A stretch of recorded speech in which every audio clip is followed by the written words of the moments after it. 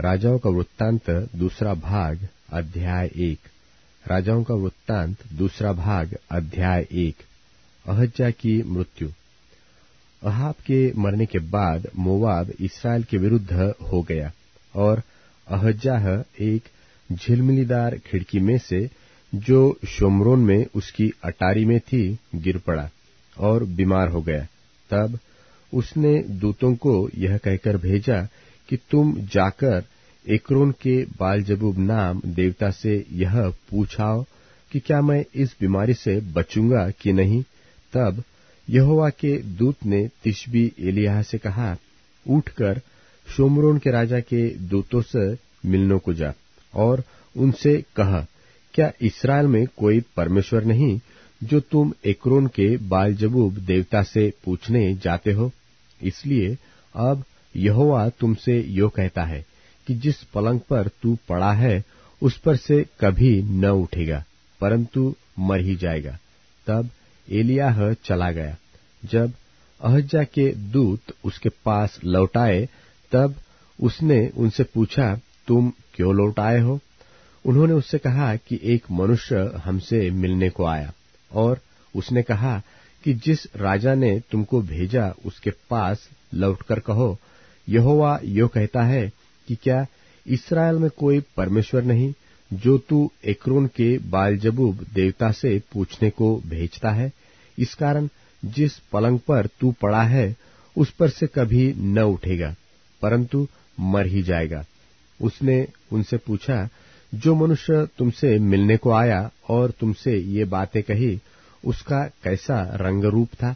उन्होंने उसको उत्तर दिया कि वह तो रोआर मनुष्य था और अपनी कमर में चमड़े का फेटा बांधे हुआ था। उसने कहा, वह तिशपी एलिया होगा।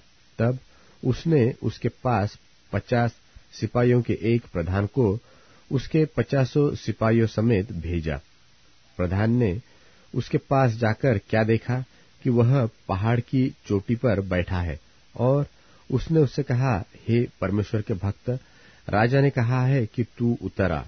एलिया ने उस पचास सिपाहियों के प्रधान से कहा, यदि मैं परमेश्वर का भक्त हूँ तो आकाश से आग गिरकर तुझे, तेरे पचासों समेत भस्म कर डाले। तब आकाश से आग उतरी और उसे उसके पचासों समेत भस्म कर दिया। फिर राजा ने उसके पास पचास सिपाहियों के एक और प्रधान को पचास सिपाहियों समेत भेज दिया। प्रधान ने उससे कहा, हे परमेश्वर के भक्त, राजा ने कहा है कि फुर्ती से तू उतरा। एलिया ने उत्तर देकर उनसे कहा, यदि मैं परमेश्वर का भक्त हूँ तो आकाश से आग गिरकर तुझे, तेरे पचासों समेत भस्म कर डाले। तब आकाश से परमेश्वर की आग उतरी और उसे उसके पचासों समेत भस्म कर दिया।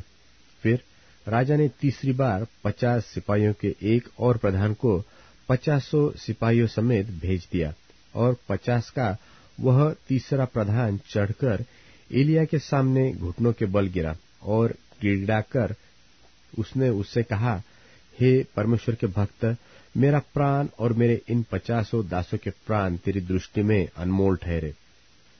पचास पचास सिपाहियों के जो दो प्रधान अपने अपने पचासों समेत पहले आए थे उनको तो आग ने आकाश से गिरकर भस्म कर डाला।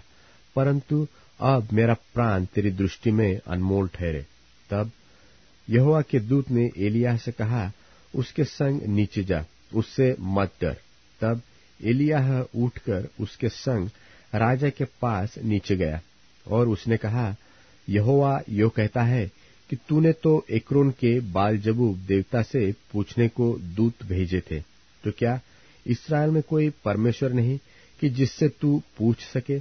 इस कारण तू जिस पलंग पर पड़ा है, उस पर से कभी न उठेगा, परंतु मर ही जाएगा। यहोवा के इस वचन के अनुसार जो एलिया ने कहा था, वह मर गया, और उसके संतान न होने के कारण यहोराम उसके स्थान पर यहूदा के राजा यहोशापात के पुत्र यहोराम के दूसरे वर्ष में राज्य करने लगा।